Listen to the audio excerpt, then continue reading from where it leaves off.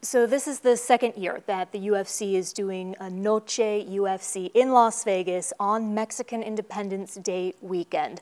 Are you looking to make this a tradition? Yeah, this will be a tentpole event for us moving forward. Um, this will be one of our yearly big events, whether it's here in Mexico, Texas, Arizona, wherever we decide to do it. But you know, after this whole sphere thing happened, it gave me the concept that every year I want to do something different and something special and something that we didn't do the year before. But you don't want to come back to the Sphere. You already know that? No, the Sphere is definitely a one of one event. Um, I wanted to be first. Nobody's ever done a live sporting event out of the Sphere. And what was more attractive about that was everybody said it couldn't be done. And those are the kind of things that I love. I love when people say something can't be done. What was the reasoning that they had for it not being possible? Um, first of all, the setup. You, you, you, know, it's theater style. You have the big screen there. Um, where would the octagon go? You know, we have that big lighting rig that hangs above 30 years. The lighting rig hangs above. In the lighting rig are the lights that light up the octagon. We have cameras in there, audio, microphones, all that stuff lives inside. That's gone. We had to figure out how do you, how do you shoot this? How do you get the light? If you, did you see U2? Yes. So U2 had a few lights that came up like this, and they would go up Videos and down. Videos of it, though, not in oh, person. not the actual show, yeah. Mm-hmm. And they would go up and down. Our lighting is so much more complex than what they do. Everything that we do is much more complex than a, than a, um, than a concert. But what I loved was when I went to see U2 and I was sitting in there, I realized that U2 wasn't the star of the show. The Sphere was. So I said, this is fascinating how could I pull off a sporting event in here, right? Where the sphere is the star of the show, but I also need the fighters to, to you know, people need to focus on the fighters because what you find yourself doing, like I'm, as soon as this is over, I got a box for the Eagles. I'm going to see the Eagles at, at, at the sphere, right? Very cool. And what you do is you're in these seats and you're watching the screen and you're listening to these songs that you love. And every once in a while, you'll peek over and look at the band you know, and whatever, and then you kick back and you start. And I was, I was blown away by the whole thing. I'm like, how the hell could you pull off a sporting event here and make? So these are all the little details and things. There's so many little pieces to this puzzle for this to come off seamlessly on, on September 14th. Uh, I'm looking forward to how, how it all plays out. You've described this as a love letter to Mexico, a tribute to the Mexican people for their extraordinary contributions to combat sports. When yep. you think of those contributions, what do you think of? Who do you think of? Yeah, so all the great fighters, some of the baddest dudes to ever walk the face of the earth have come from Mexico.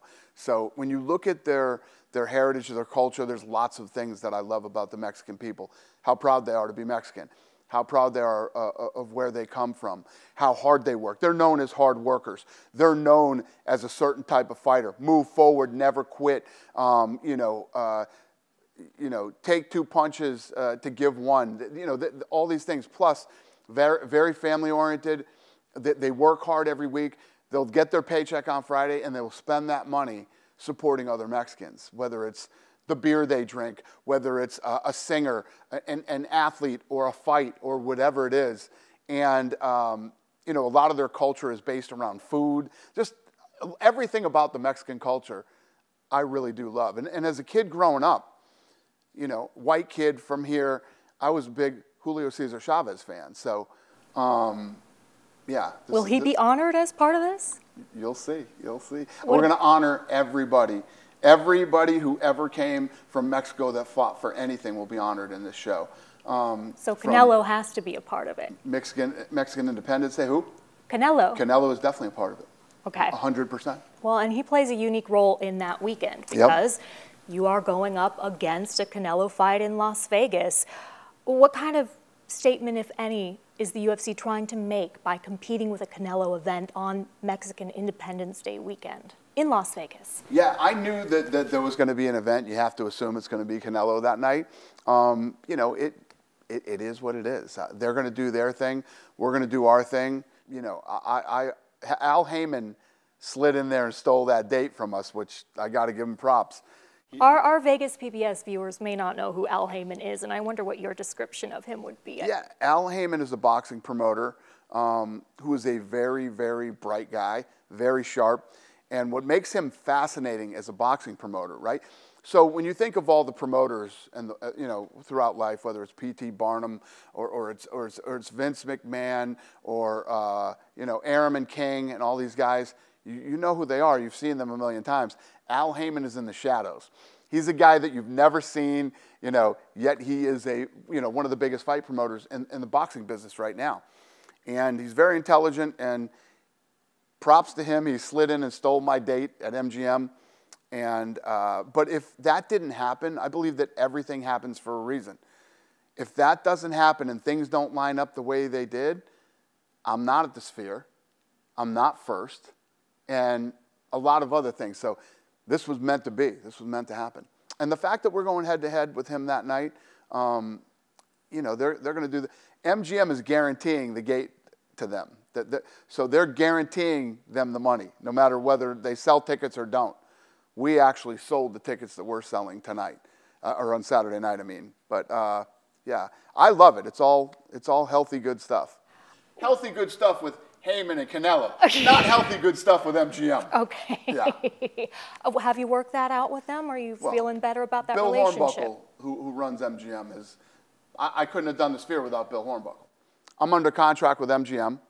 I was upset about a lot of things, and this was his, uh, his, his, his olive branch to, to create some peace between us. So he gave me this Sphere. I appreciate it. And uh, yeah, we'll move forward after this event. When I heard about all this, I was thinking, okay, well, the UFC opened a performance institute in Mexico City earlier this year, and perhaps this is part of a big plan to develop an MMA star in Mexico that could compete with the popularity of Canelo and then take over this weekend in Las Vegas, especially since we don't know how much longer Canelo will be fighting how far of a stretch is that line of thinking?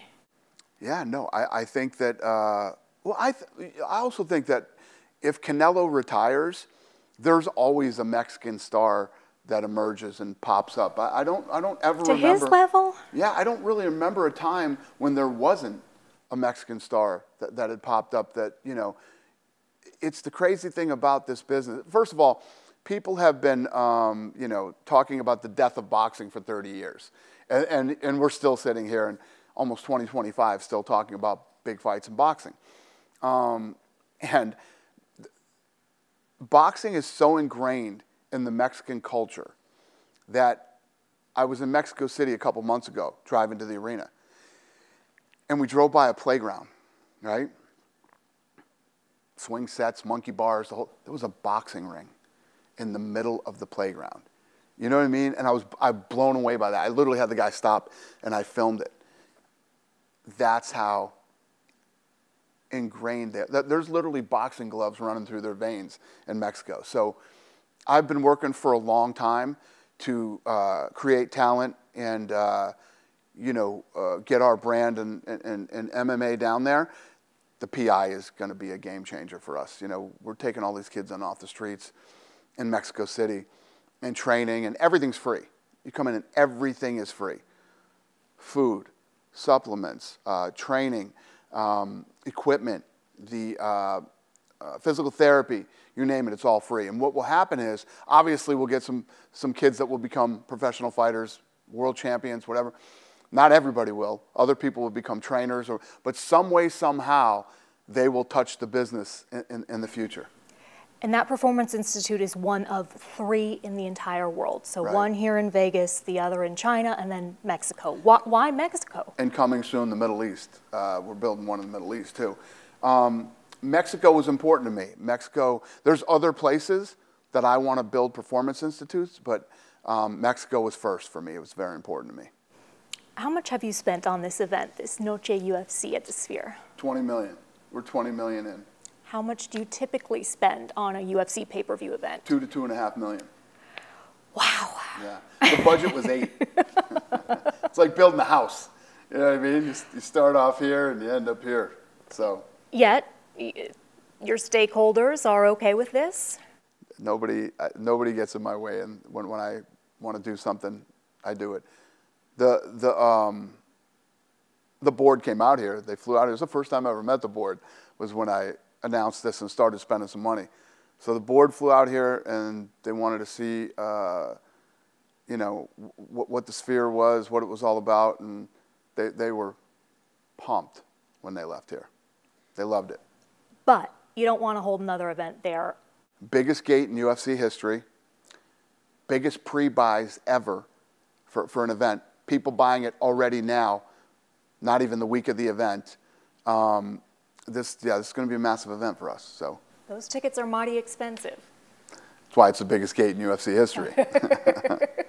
but I, I, just want to make it clear, you don't want to return there because of how expensive it is. Well, I, it's not that I don't want to return there. I, I have a deal with MGM. You know what I mean? So I already, I'm under contract. Uh, For Bill, how long? Huh? For how long? Well, we just signed an extension. Okay. That was all part of this whole thing too. How many years? I wasn't going to sign the extension. Uh, you know, it, it, was it was ugly with okay. MGM, and it's not not that it's pretty now, but Bill Hornbuckle, in, in my opinion, did the right thing, and and uh, you know is trying to uh, trying to make this right. So. Was it necessary for you to have a title sponsor for this event?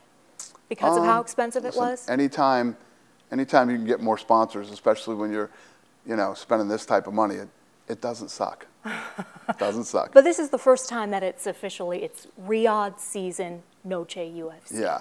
Yeah, it's the first time I think we've ever done that. But we've had title sponsors like the, the, the you know, Bud Light is one of the big sponsors for this event too, and presented by Bud Light or brought to you by Bud Light. Yeah.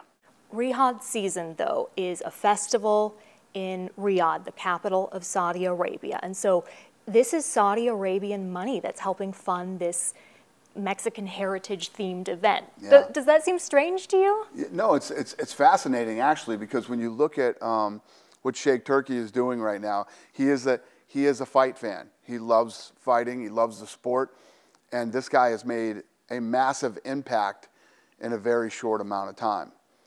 And it's funny because I don't normally get along with a lot of the other guys in the industry. And so I didn't know how this relationship would go when we first met. And so, so everyone knows, he is the General Entertainment Authority Chairman of Saudi Arabia. Right. We met and uh, we sat down, we talked about boxing and UFC and slap and lots of other things. And uh, yeah, I ended up creating a really good relationship with this guy and I like him. And you know me. If I didn't like him, I'd let you know I didn't like him, but I like him a lot, and I think what he's doing is fascinating, and it's interesting that that's what it took to get the big fights done in boxing. It took, it took Saudi Arabia type money to, to make those fights. He has described your event as competing with Canelo. He has said, We will eat him. Yet, the fight he really wants is a boxing match between Canelo and Terence Crawford. Right. Does that matter to you? Yeah, no. That, that, that's, listen, that they, on that side, they have their own, um, you know, I guess we'll call them initiatives or whatever it is that, that, that they're trying to do. But, um, you know, for me, it, it, it's all about Noche UFC. How that plays out for him in the future. I, I mean, I, I can't see how they couldn't get a fight done with Canelo. I mean, they're making fights right now that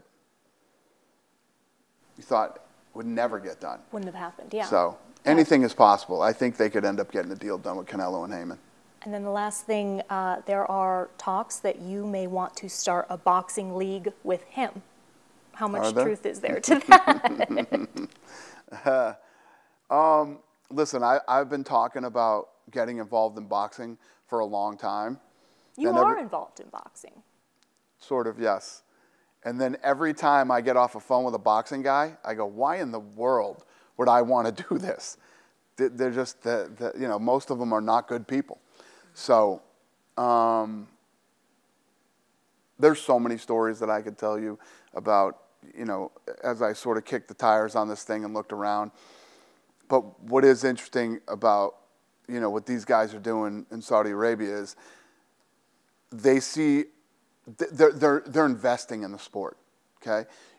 Nothing works without an investment. You have to invest. Like, if you look at what we've done over the last 20 whatever years, we've always reinvested in the sport, whether it's this place, building the, the PI here, building a PI down there, building a PI in China, and the list goes on and on. You know, in, in 10 years, there'll probably be four or five more PIs around the world. And, and when you invest like this, the sport continues to grow and, and, and everything grows. Boxing has done the exact opposite. Every fight is a going out of business sale. Let's grab as much money from the people as we can and run away with it. Um, Saudi Arabia is looking, and Sheikh Turki is looking to invest in boxing. So, do you want to be part of a league with him? Anything is possible. Dana White, thank you so much for your time. Thank you.